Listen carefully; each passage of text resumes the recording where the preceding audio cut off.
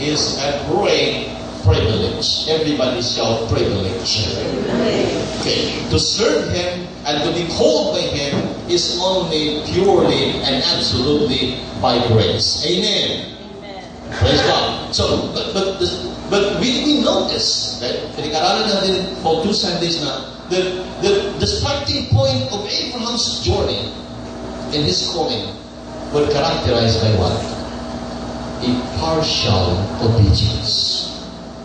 Partial obedience. Abraham did not obey God fully. He obeyed God only one partially. Ah. What was the instruction of God to Abraham? It was so clear. Genesis chapter 12, 1 to 2. Abraham must, what, must, must have to what? Live. Get out of his country. Lumabas sa kanyang bansa. And then, number two is what? Live your kindred. Ibig sabihin, live your father, your mother, your friends, and your what? Your acquaintances. Everything. And number three, what's the command? Go to the land I will show you. Three commands in this calling. I would like to to emphasize this kasi baka hindi ko na-emphasize to. Hindi ibig sabihin na pag naging active ka sa pananampalataya, naging kristyano ka, ay iiwanan mo na kaagad ang mga magulang mo at ang mga mahal sa buhay mo. That's not the point of the Bible. The point of the Bible is, balikan mo ang mahal mo sa buhay at siran mo ng bago mong buhay. Amen! Palakpakan mo yung Panginoon. Praise the point.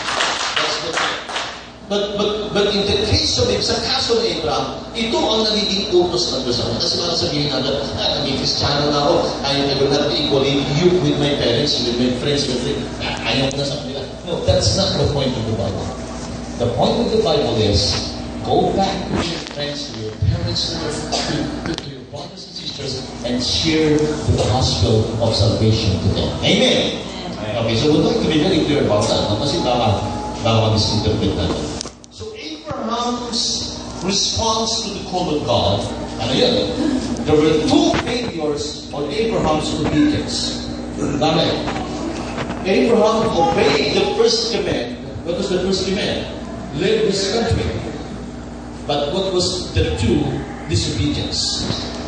Abraham, he what?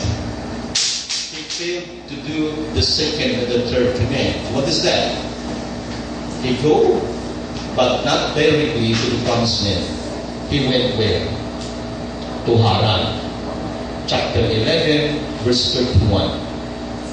He left his country, but he did not go directly to the promised land. 1131.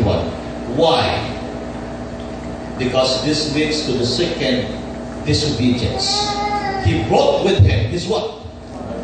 His father and his nephew. Di ba nakasi niya ang kanyang amang si Tera at ang kanyang nephew na sino? Si Lot. Hindi dapat. Bakit? Kasi the call was to live his what? His kindreds. To live his parents and every everything except for who? Except for Sarah. That's why. So Abraham has a partial obedience.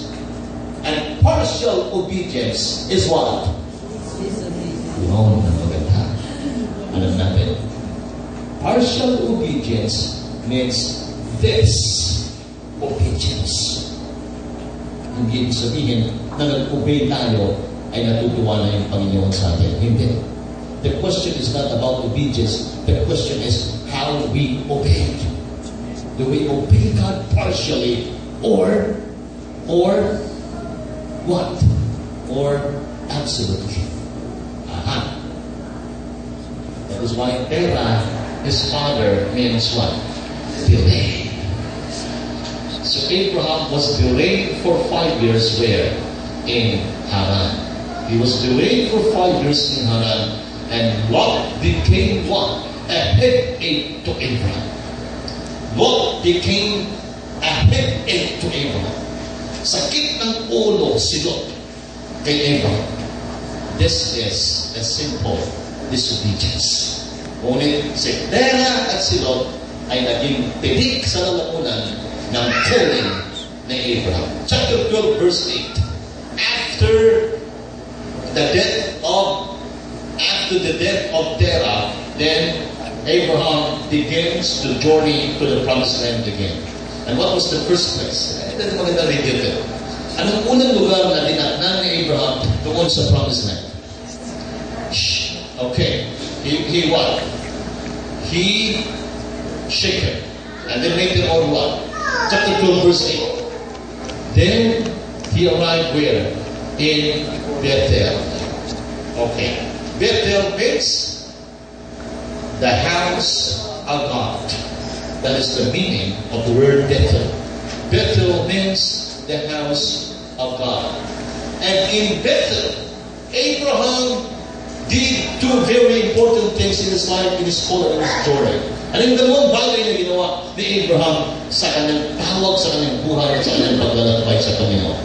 What are those two important things that he did when he arrived in Bethel? In verse 8, he walked.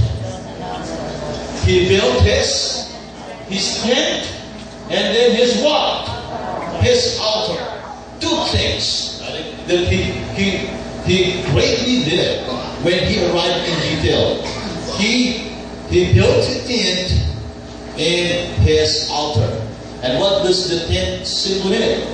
The tent simply mean what? A temporal life, a life of journey, a pilgrim, a walk with God. And tent simply is a declaration that Abraham was equally saying, I'm just a pilgrim in this land. Amen. I'm just a stranger of this land. Huh? Promise ng Diyos, but still Abraham considered himself to be what? A stranger. And then what does this altar simply mean? This altar is what? His worship and his devotion, his sacrifices to God. That is the altar. And in Hebrews chapter 11, 9 to 10, the writer of the book of Hebrews explained why Abraham just built a tent and not a mansion in the promised land. What was the reason why Abraham built a tent and not a mansion in the promised land? Because he said what? Hebrews chapter 11. Because he said, this tent is just what? Is showing that the people of God is just considering himself to be what? The stranger of this world. So yun ang dapat natin tandaan palagi. Ano sabi ko last meeting? Plan a life, you know, a, a, a, a, a long-range plan. But don't forget, don't forget to consider that maybe the finish line is today or tomorrow. Death is unpredictable. So don't forget that. So, so what, what have we, we discussed last time?